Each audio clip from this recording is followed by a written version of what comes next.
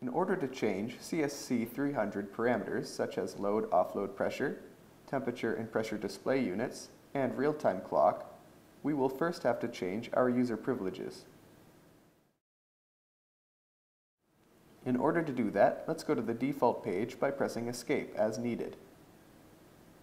Navigate up to page P09 and press Enter. The active user should now display Default or Operator. Now scroll down and select Service 1 by pressing Enter.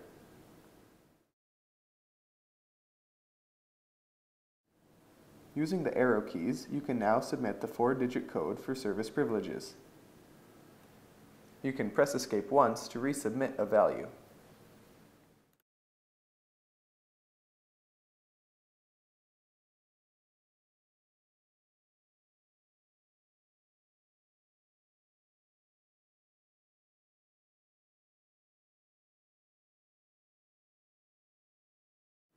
We will now see that Service 1 is active.